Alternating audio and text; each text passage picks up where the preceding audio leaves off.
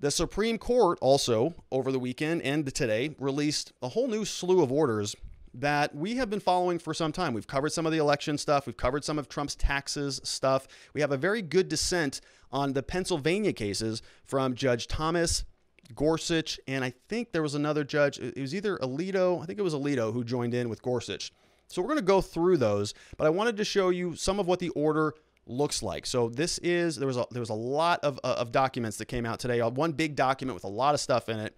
This is what it looked like. So Monday, February 22nd, which of course is today, we have this this order list that came out. Big big big document. And we clipped out a couple things that are pertinent. So number 1, this is the Trump tax case. Donald Trump versus Cyrus Vance the application for a stay that was presented to Justice Breyer and referred to the court is denied. So, what are we talking about there? A stay. Okay, currently Donald Trump and his you know, the Trump organization is being investigated, and they want to get a copy of his financial statements, tax records, basically everything that's in that category of documents. And there was a request by Trump and his team to stop the order that was authorizing the accessing of those documents. So somebody else ordered that. They said, go get those things. Trump said, nope, hold on. We're applying for a stay to stop you from gathering those documents. And the Supreme Court just said, no, stay so you can continue to move forward and request those items. This was according to the SCOTUS blog Twitter account. They said breaking. After four months of inaction, SCOTUS, in a one sentence, unsigned order, declined Trump's request to further postpone the enforcement of a Manhattan DA district attorney subpoena for his financial records. The order clears the way for the New York grand jury to obtain the records and review them in secret. So you see here, this is all we got on it. Not much. One sentence, little bit of a letter there. So, you know, we didn't spend much time on this thing. We'll see where where, where, this goes. Uh, but not good news if you are Donald Trump, right? It, now there's a Manhattan district attorney that has the ability to go in, request a subpoena, get one ordered by the court, get those formal documents uh, pursuant to court order. The Supreme Court has said, nope, not, we're not getting involved. It's denied. Give them the records.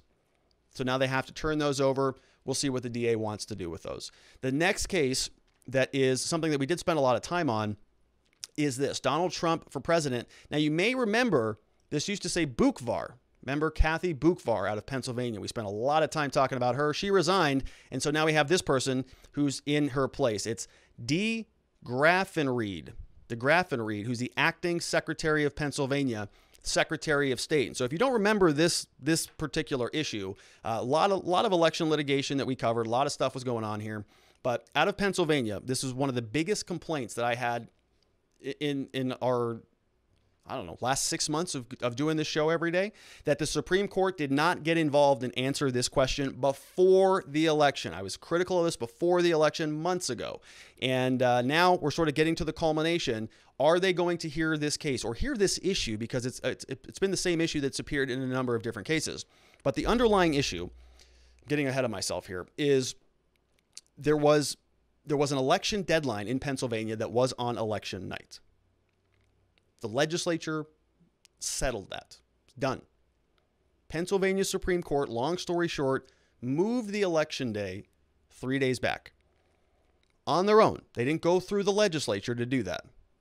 They sort of heard the case, said, You're right. We got to make all of these changes because of emergency situations, emergency orders as a result of COVID 19 spreading through the country. So the Supreme Court essentially just changed things a little bit on their own. And the constitutional question here was can the Supreme Court do that?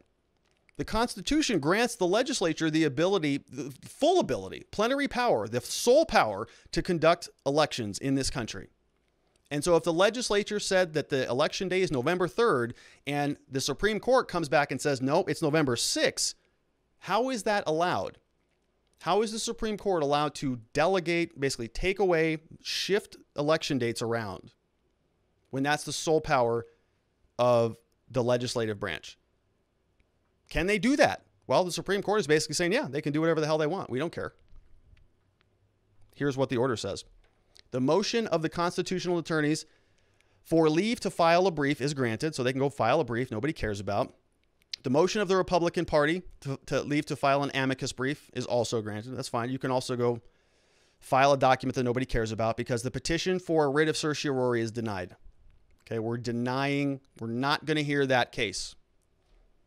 And so, if you recall, the way that this was sort of working its way up back during the election is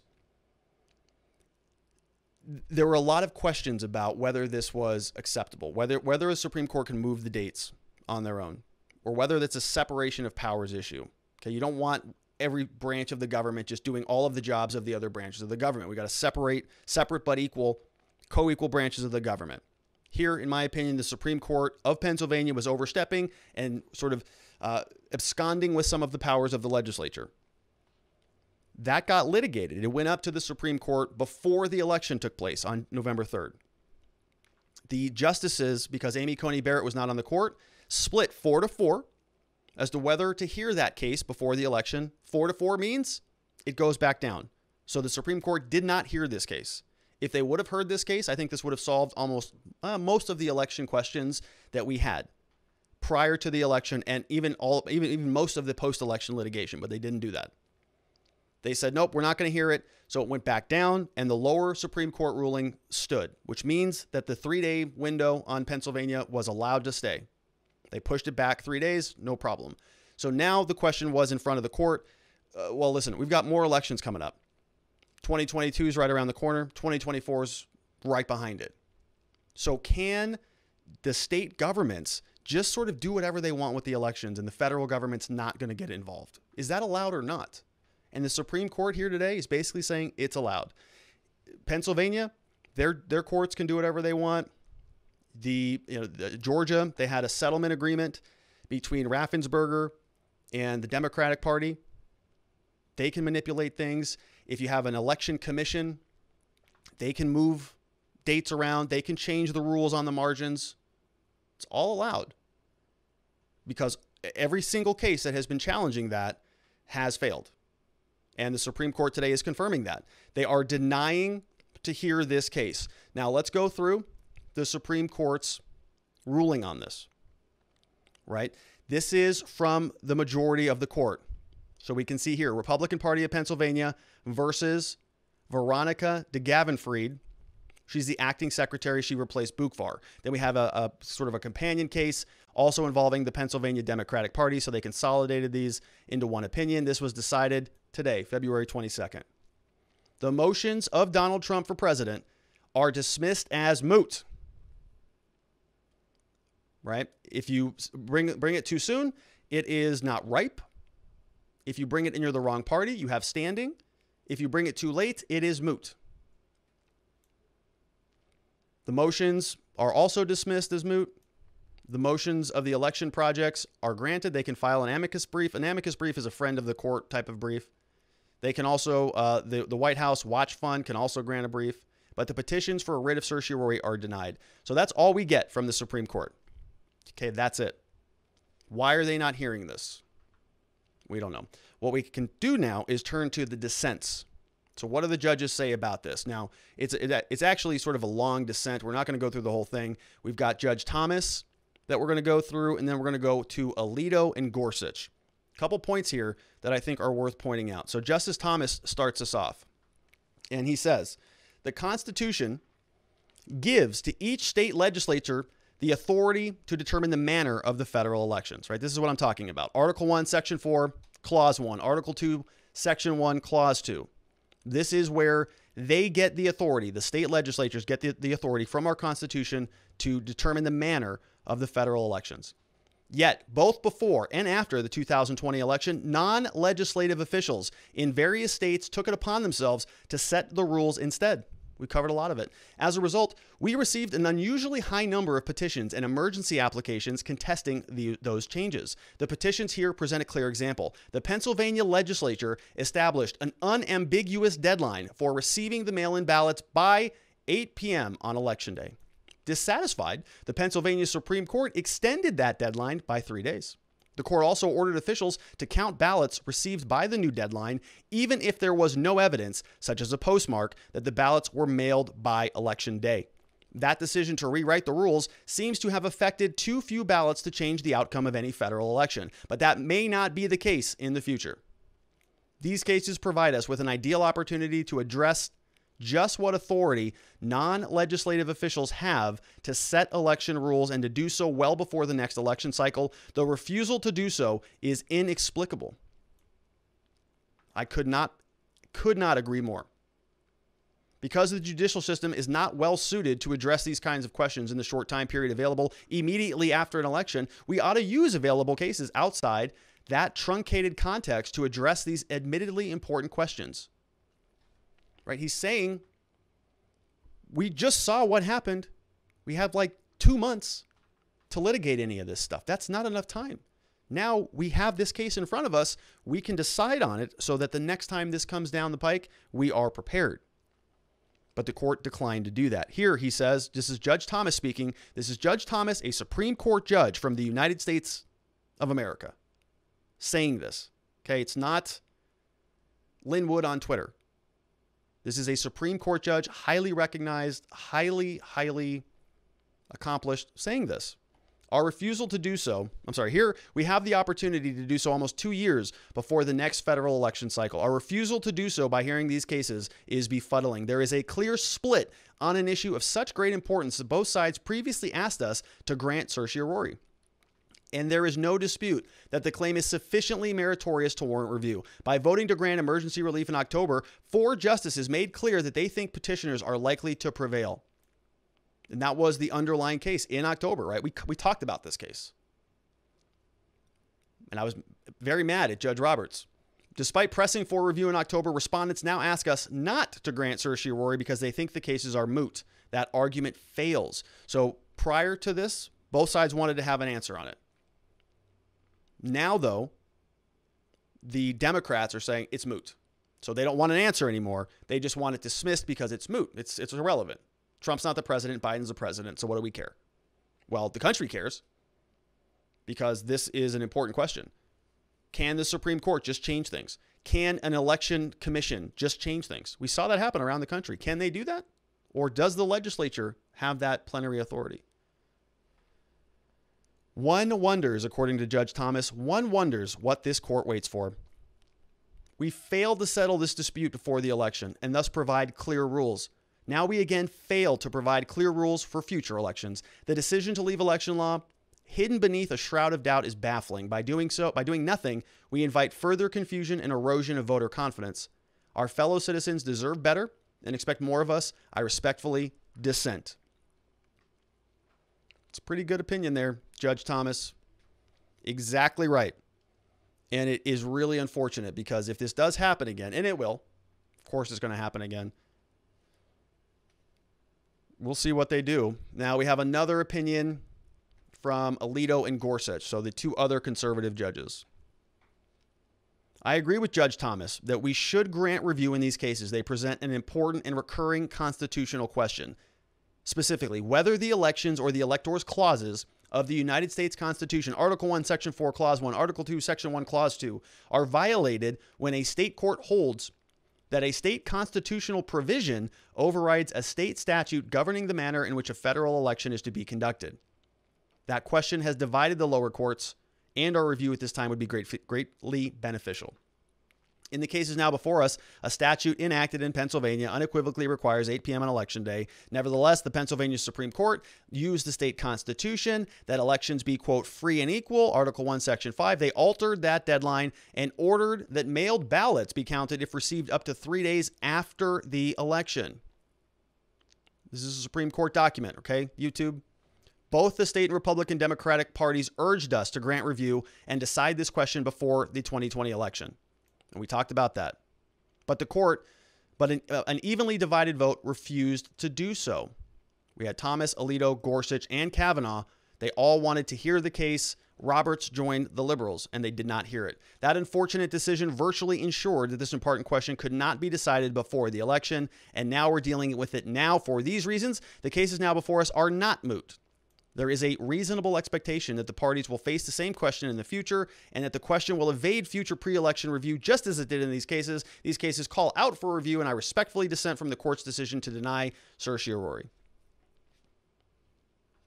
So that is where we're at, right? The, the Supreme Court is not hearing this issue. So what this means legally is that yes, all of that stuff is fine. It's all good. Move things around, do whatever you want. Supreme Court can change things. Governor's office can change things. Legislature can certainly change things because they, they we, we know they have the power. But now the Supreme Court is refused to weigh in on whether the Supreme Court has that power, whether election settlement agreements have that power, whether they can just modify whatever the legislature put in place. Not going to touch it. So the answer is yes, you can do whatever you want. All right. And, and guess what that means? We had three conservative judges who dissented. Where was Roberts? Where was Amy Coney Barrett? Well, we know where they are. All right.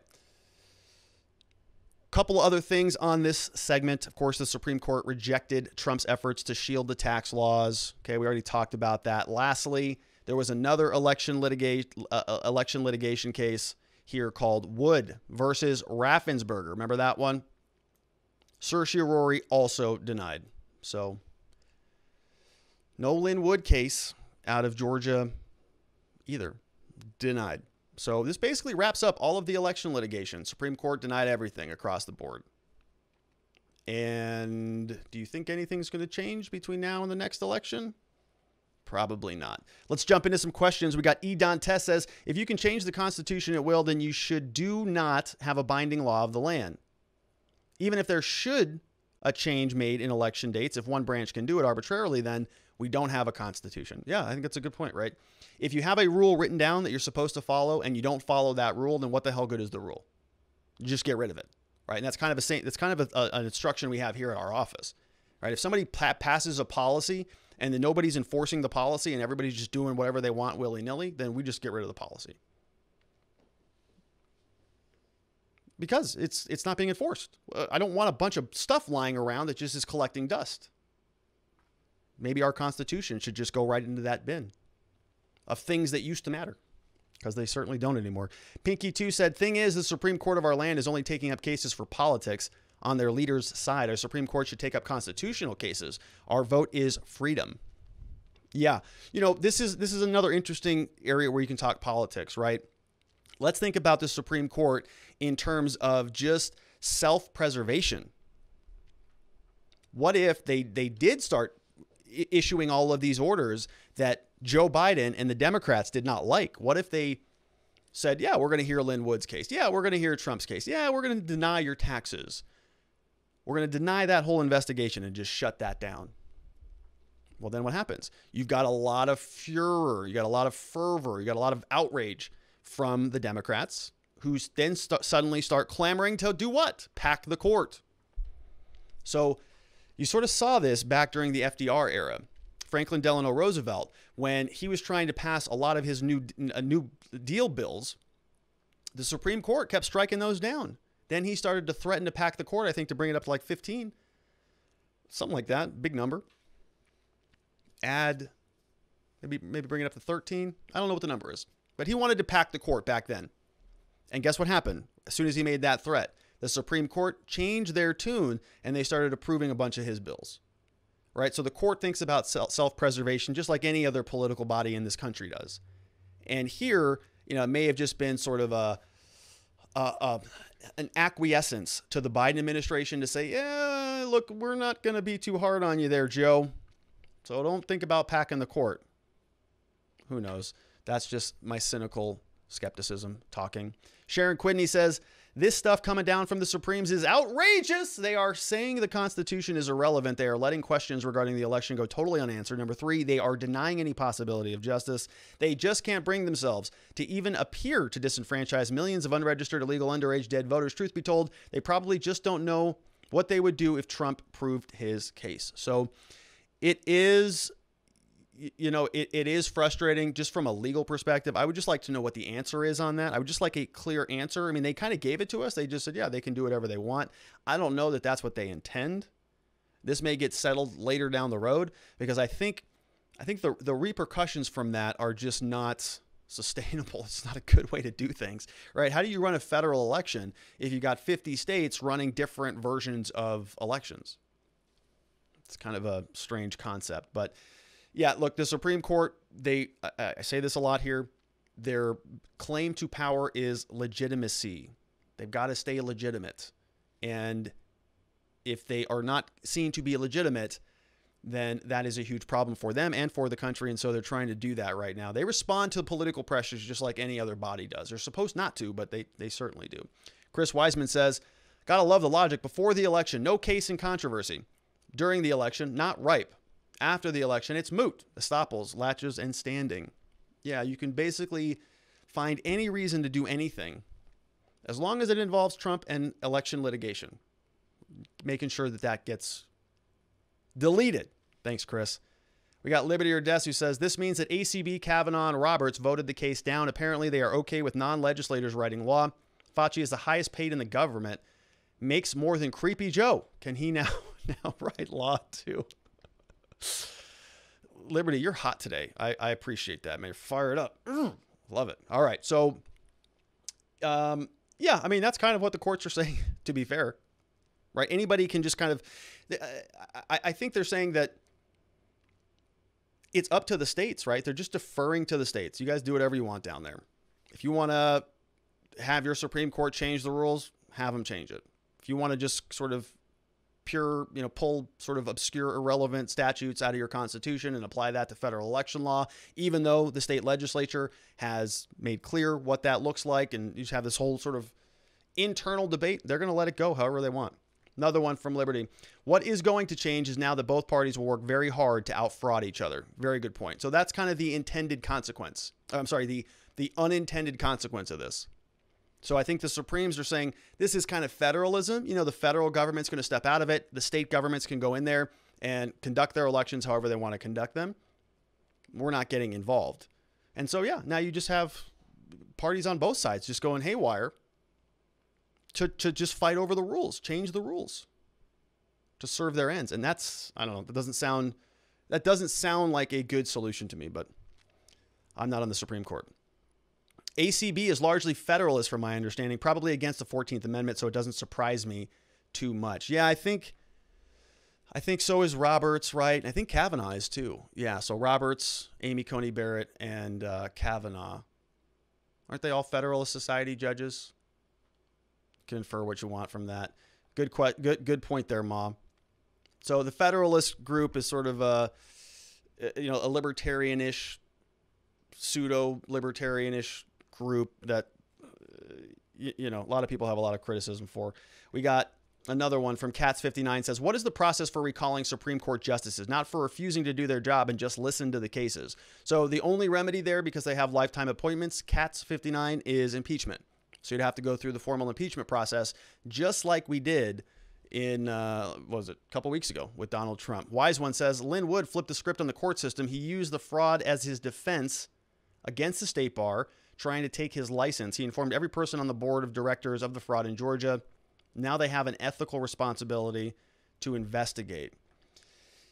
Um, yeah, that I understand what you're saying there, wise one. I just don't think that's the case at all. I mean, the, the board of directors, the state bar, they're not going to investigate any of these claims. I mean, basically, I think I, I haven't been following any any of the Wood stuff because he's deplatformed everywhere. I think he's on Telegram now, but it's it's nothing that I don't think he's out maneuvering anybody. Right, he, he's talking like he is, but he's not. Uh, I, I, the, the state bar, the state, the board of directors, they're not looking into any of this stuff. And even if they did, it's all moot. I mean, it, it is technically moot. Like even if they found that this whole thing was fraudulent, it's there's nothing to do about that. You have to pass a constitutional amendment. You got to impeach Joe Biden. He's got to resign. You know, I mean, this it's Lin and, and some of these people just, you know, continuing to promise like there's some secret trap door somewhere that's going to reverse all this stuff is not honest, in my opinion. I think they're being disingenuous. And that, that uh, claim, I think, has long expired. Rebelling My Way says each state should operate how their residents wish. If the representatives are taking actions they do not agree with, they need to take action to remove them. It is the people's responsibility to stay informed and let their representatives know what they want. We, the people, need to take action. Our representatives will not. they are probably comfortable. I think that's a pretty pretty astute observation there, rebelling my way. Yeah, you know, I, I am encouraging a lot of people to act locally because you have the biggest slice of de- democracy pie locally. The bigger you go, we're talking about senators and presidents and attorneys generals. Now you have a very sliver of that democracy pie. Here, you got a nice big chunk because you have less people competing with you for that pie. Want to know says, what about the case Lin Wood filed against Roberts and Clinton? A lot of people don't think he is bluffing at all. I know a lot of people don't think that. Uh, a lot of people think that he's being sincere. I just don't. I don't see any evidence of any of it. You know, he's he's saying a lot of things that I think he's free to say, but I don't have to take any belief in any of it because I haven't seen any evidence about any of it. I've just seen I've seen a lot of these claims, and we actually talked about one of Wood's uh, lawsuits. I think last week, and he was actually it was it was a um, it was an order to remove him as pro hoc vice from another defamation case that he was working on. So not even an, an election litigation case. He was just a he, he was a, an attorney from out of state coming in and appearing on a case. It's called pro hoc vice. If you're not licensed in the state, you get sort of admitted into practice on a limited basis in a particular jurisdiction. Lin Wood is doing that, and somebody was trying to remove him from the case based on some of his prior allegations or some some of these claims that he's making. And he doubled down in his court document and said, "I still have proof. I still have evidence." And I'm saying, "Okay, that what where is it? If you got it, it's probably about time to show up because you're getting uh, you know, now attacked by the state bar and all of these things. And listen, I am a proponent of free speech. I'm not saying that he should be thrown in jail or he should be disbarred even for any of this stuff. I think he's free to say it. I I don't agree with any of it, but I think it's it's he's free to say he's he can he can have an opinion on a lot of this stuff. And I, I and listen, I'm not sort of uh, avowing total freedom for all statements Lin Wood has ever made. I have not seen all of his statements, and I can't make a an endorsement that is is that big in scope. But the point here about him, you know, ch- challenging certain things and contesting the way that these things were working, at least in terms of the election litigation, he's got a right to pursue those claims and to make those claims and say those things. And and the the payback, the the repercussion for that, I think is getting is is is stepping over the line on free speech, and that is concerning to me. We got Farmer's Daughter says, I watched Alan Dershowitz today. He pointed out that this whole tax thing with Trump is finding the crime rather than looking into a suspicious crime. What are your thoughts on that? So I agree. I think that most of these things are political prosecutions, which is why I'm not particularly interested in them. You know, you've got a lot of DAs around this country who want to make a name for themselves by prosecuting the next big person. I don't like when they do it with, with anybody, really. I don't think that the political system or the judicial system should be weaponized against people who are speaking their mind or who engaged in, in, in like in political things, right? Donald Trump is being investigated because uh, uh, of, of some tax stuff. Uh, you know, allegedly they're trying to find a rationale in order to prosecute him, but I don't think that this comes from a general sort of acknowledgement or, or some some you know secret tip that Trump and his team were doing something bad in, with their finances in the Trump organization. I think that this started off as a political witch hunt. Right? They want to go find something that he did wrong. They're going to use the justice system in order to make a political point. We see the DA is now doing that also out of Georgia. And it's just something that's, you know, everybody's trying to grift off of the outrage from the Capitol Hill riots. And I mean, if they find something, if they go through Trump's financial records and they find that he was embezzling whatever, then okay, right, maybe that was right. And, and we'll have to come back on here and eat crow. But I just, you know, I, I think this happens on both sides a lot of political prosecutions. I really do not like the concept of a weaponized Justice Department at all. And unfortunately, we just have a lot of that going on right now. Pinky number two, last question before we move on to the next segment is we're going to end up having more votes than we have voters for all the illegal interference on both sides. And the Supreme Court just said, okay. Yeah, that's pretty that's pretty much accurate. Supreme Court just said, yeah, states run them however you want to run them. We're not getting involved. And if you're uh, an attorney general from a, one of these different, I think, 17 states who signed on, we're also not going to hear from you either. So I think the takeaway from this is that they are really carving out a massive expansion of the political question doctrine, if I can just go there. Okay, we've, we've talked about here, you know, who do you sue if you're mad about taxes? Nobody. That's a political question. The courts say you can't do that. You got to go and bring those claims in the political arena. Go vote. Go run for office. Go raise some money for your preferred candidate. But you can't sue the government.